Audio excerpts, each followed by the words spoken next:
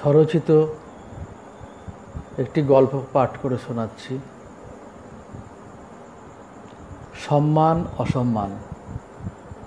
সুজিত কুমার পাল। সময় তার নিজস্ব ধারায় এগিয়ে চলেছে আর সময়ের এই গতিময়তার মধ্যেই পৃথিবীতে প্রতিদিন, প্রতি মুহূর্তে ঘটে চলেছে কতই না ঘটনা। তবে সব ঘটনাই মনে রাখার মতো নয়। আবার এমনও কিছু ঘটনা ঘটে যেগুলি কালের নিয়মে মুছে যায় না, তা অনেক দিন স্থায়ী হয়, মনে তা গভীরভাবে দাগ কেটে যায়। এমনি একটি ঘটনার কথা আজ খুব মনে পড়ছে। অনেক দিন আগের একটি ঘটনা, তখন আমার বয়স কত হবে? এই সাতাশ কি আঠাশ, শরীরে তখন অমিত শক্তি, মনে দুর্জয় সাহস আর কণ্ঠে সারাদিন শুধু গান আর গান।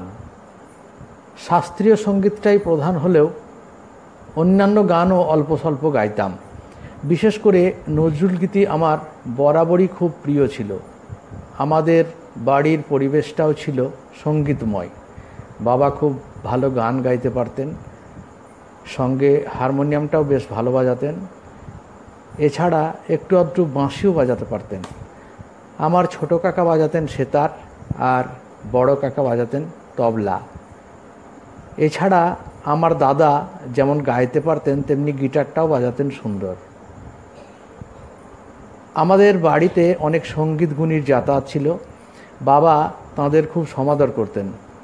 বাড়ির বাকি সদস্যরাও সেই সমস্ত গুণী ব্যক্তিদের যথেষ্ট সমাদর করতেন। আসলে এ শিক্ষাটা আমরা সকলেই আমার বাবার কাছে থেকেই পেয়েছিলাম। আমার মা নিজে গান বাজনা না জানলেও আমাদের সংগীত চর্চায় নানাভাবে সাহায্য করতেন।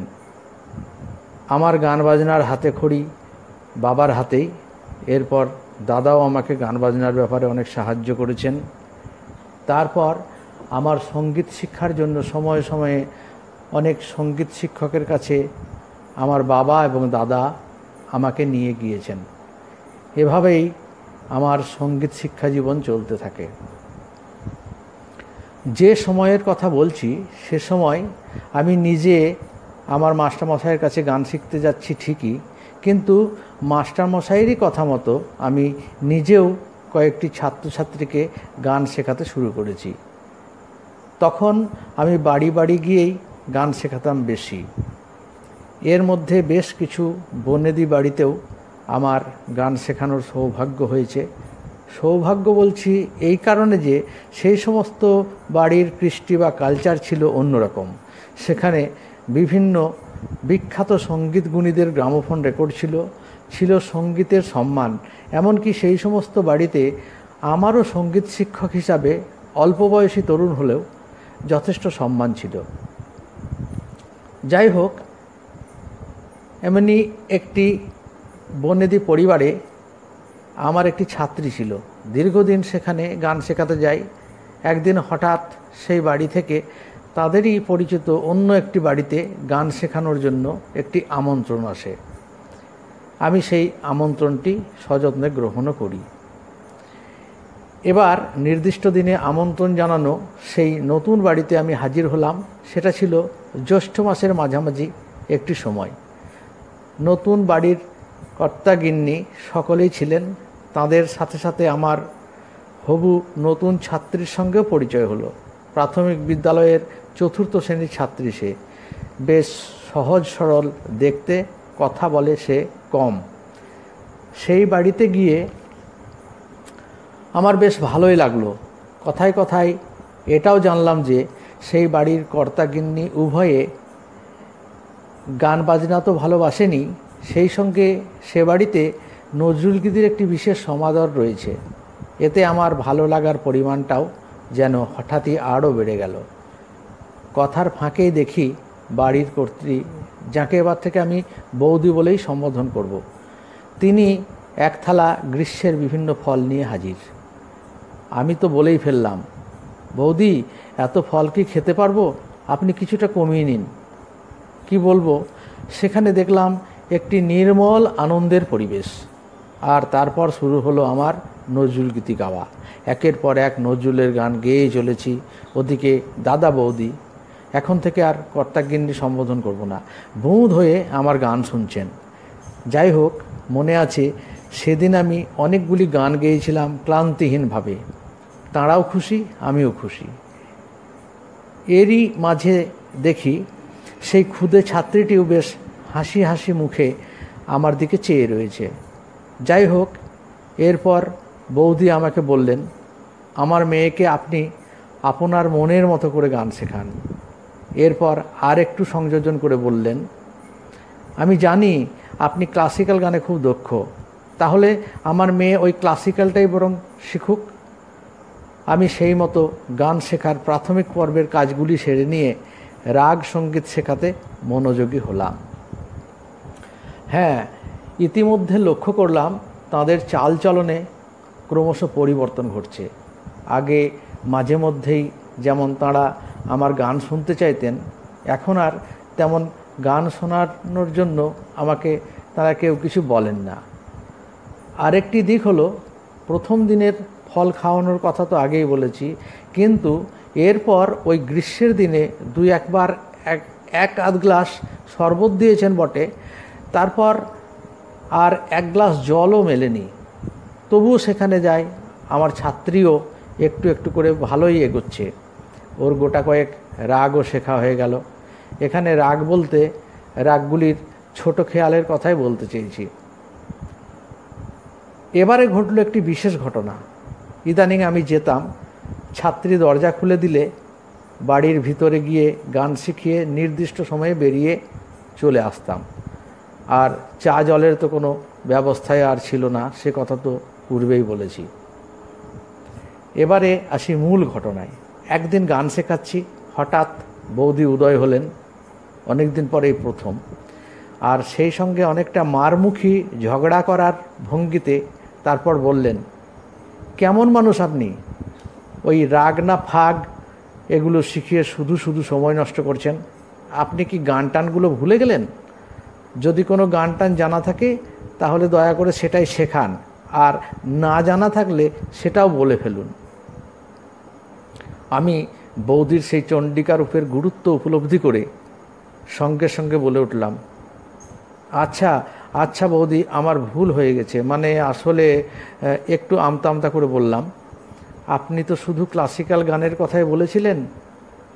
তাই আর সাহস করে অন্য কোনো গান শেখায়নি। তখন বৌদি বললেন, রাখুন তো মশাই, আপনার ওই ক্লাসিক্যাল না ক্লাসিক্যাল গান। রবীন্দ্রসঙ্গীত জানা থাকলে শেখান, না হলে আসুন। আমাকে এত অপমান এর আগে কেউ কোনো দিন করেননি। হঠাৎ কি মনে হলো পর মুহূর্তেই বলে ফেললাম আচ্ছা বৌদি, যেমনটা বলবেন তেমনটাই হবে। আসলে হঠাৎই এত অপমানিত হলাম যে মনে হলো, এখানে দেখাই যাক না, এরা কতটা অপমান করতে পারেন আর আমি কতটা অপমান সইতে পারি। তাছাড়া বৌদির একটি গুণও ছিল, মাসের শুরুতেই গত মাসের বেতনটা দিতে ভুলতেন না, কখনো বেতন চাইতে হয়নি, আর আমার বেতনটারও খুব দরকার ছিল। এরপর কয়েক মাস একটানা শুধু রবীন্দ্রসঙ্গীতই শেখালাম। ছাত্রী ছিল অত্যন্ত তীক্ষ্ণ মেধার। ওকে যখন যেটা শেখাতাম সুনিপুণভাবে ও সেটা তুলে নিত। এবার আবার সেই একই ঘটনার পুনরাবৃত্তি ঘটল। বৌদি অনেক দিন পর এলেন ফের চণ্ডিকা বেশেই। এটা দ্বিতীয়বার। এসেই সেই পুরাতন ভঙ্গিতেই বললেন, মাস্টারমশাই, শুধু রবীন্দ্রসঙ্গীতই শেখাচ্ছেন? আপনি কি ওই রাগ না ফাগ কি যেন বলে, নাকি ক্লাসিক্যাল না ক্লাসিক্যাল সেগুলো সব ভুলে গেলেন? এবার ওগুলোই শেখান। মেয়েটার তো কোনো উন্নতিই দেখছি না। আমি তৎক্ষণাৎ সবিনয়ে বলে উঠি, তাই তো বৌদি, আমার ভুল হয়ে গেছে। আমি আবার রাগগুলোই শেখাবো। বৌদি বললেন হ্যাঁ এবার বুঝেছেন? এবারে বরং সেগুলোই শেখান। এবারে চলল আবার সেই রাগ শেখানোর পালা। একটানা রাগ শিখতে শিখতে আমার ছাত্রী, ছাত্রীও ক্রমশ ক্লান্ত হয়ে পড়ছিল। সেটা আমিও লক্ষ্য করছিলাম। এরপর একদিন হঠাৎই আবারও বৌদির উদয়। তবে এবার বললেন অন্য কথা। বৌদি বললেন, বলি, আপনি কি এক আধটা ভজনও জানেন না? আমরা গোপাল মন্দিরে যাই, আমরা গোপালের ভক্ত আর সেটা বোধহয় আপনার জানা নেই। যাই হোক ভজন জানা থাকলে শেখান, নইলে বিদেয়ী হন। বৌদি আমাকে এত অপমান করলেন, তবুও কিন্তু আমি বিদেয় হতে পারলাম না। বৌদির কথায় সাই দিয়ে বললাম হ্যাঁ বৌদি, ভজন দু একটা শিখিয়ে দেব। বৌদি খুশি হয়ে বললেন, ব্যাস, তাহলেই হবে। আমার স্থায়িত্ব বাড়ল বা বলা ভালো, অস্তিত্বের লড়াইয়ে আমি জয়ী হলাম। এরপর আবার কিছুদিন পর বৌদি এসে বললেন রাগগুলোর সাথে সাথে মেয়েটাকে একটু আধটু রবীন্দ্রসঙ্গীত শেখান। সেই মতো মানিয়ে নিয়েই বেশ চলছিল। কিন্তু বৌদি একেবারের জন্য নজরুলগীতি শেখানোর কথা বলেননি। কিছুদিন পর অপ্রত্যাশিতভাবে বৌদির দিক থেকে সেই প্রস্তাবটি এলো। আবির্ভূত হয়ে এই চণ্ডিকা বৌদি আমার দিকে তাচ্ছিল্য ভরা দৃষ্টি হেনে বললেন আচ্ছা মাস্টারমশাই, আপনি কেমন মানুষ?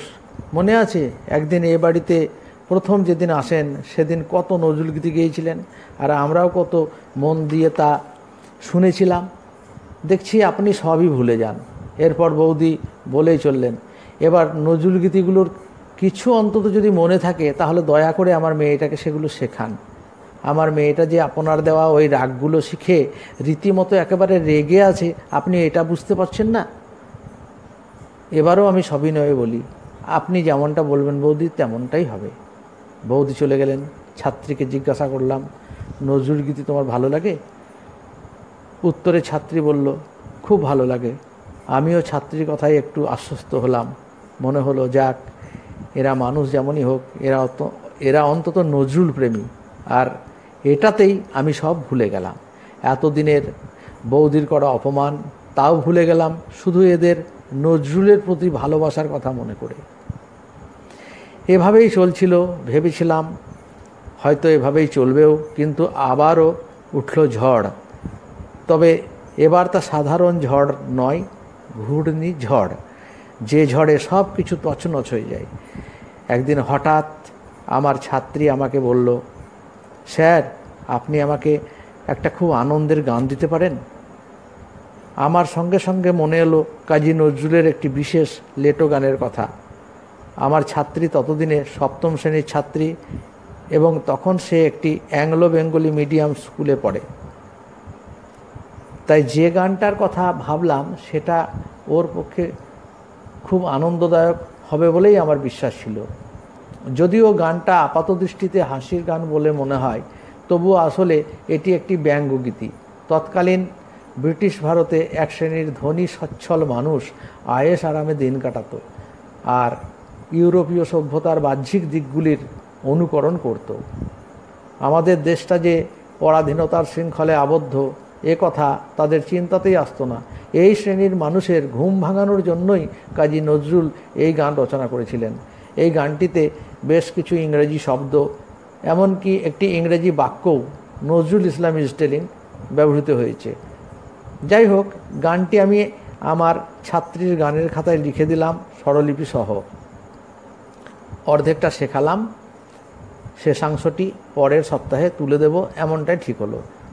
ছাত্রীত্ব আনন্দ আর ধরে না, খুব খুশি। আসলে খুশি হওয়ারই কথা। বাবা ও মায়ের মধ্যে ঝগড়াঝাঁটি বা ঝামেলা হলে দেখা যায় তাদের নির্দোষ ছোট্ট বাচ্চাটি যে খেতেই পেল না, বাবা মায়ের সেদিকে খেয়ালই নেই। তারা তাদের নিজেদের অবস্থানে অনড়। এক্ষেত্রে অবশ্য পুরোপুরি এমনটা নয়, তবুও ছাত্রী ছাত্রীর মায়ের নির্দেশ মতো চলতে হচ্ছিল বলে শুধু ছাত্রীর মায়ের অর্থাৎ চণ্ডিকা বৌদির খুশি থাকার ব্যাপারটাকেই গুরুত্ব দিতে হচ্ছিল বেশি করে। যার জন্য ছাত্রীর ইচ্ছা অনিচ্ছার দিকে ধ্যান দেওয়া সম্ভব হচ্ছিল না। অস্তিত্বের সংকট বলে কথা। যাই হোক, পরের সপ্তাহে নির্দিষ্ট দিনে এবং নির্দিষ্ট সময়ে সেই ছাত্রীর বাড়ি পৌঁছে গেলাম। গানটির শেষাংশটি তুলে দেব বলে। ছাত্রী যথারীতি দরজা খুলে দিল। গিয়ে বসলাম আমার নির্দিষ্ট আসনে। এরপর ছাত্রীর দু একটি গান করা শেষ হলে বললাম, রবনা কৈলাসপুরে গানটি করো। ছাত্রী তার গানের খাতার নির্দিষ্ট পাতাটি খুলে ধরলে হঠাৎ যেন বিদ্যুৎ পৃষ্ঠ হলাম। দেখলাম ওই গানটির উপর লাল কালি দিয়ে একটি কাটাকুটি চিহ্ন গভীর করে এঁকে দেওয়া হয়েছে। অত্যন্ত অবাক হয়ে এবং কিছুটা রাগতভাবেই ছাত্রীর উদ্দেশ্যে বললাম, খাতায় লেখা গানের উপর লাল কালি দিয়ে এই চিহ্নটা কে এঁকেছে? নিশ্চয়ই তুমি? আসলে ছাত্রীটি এমনিতে শান্তশিষ্ট স্বভাবের হলেও মাঝে মাঝে গানের খাতায় একটু আধটু ছবি টবি আঁকত। আমার প্রশ্নের উত্তরে ছাত্রীটি কিছু বলতে যাচ্ছিল, কিন্তু তার আর বলা হলো না। হঠাৎ দেখি চণ্ডিকা বৌদি চলে এসেছেন। আশ্চর্য হয়ে গেলাম বৌদির চেহারা দেখে। না না, বৌদির সেই রণরঙ্গিনী যুদ্ধং দেহি চণ্ডিকা রূপ সেখানে একেবারেই অনুপস্থিত।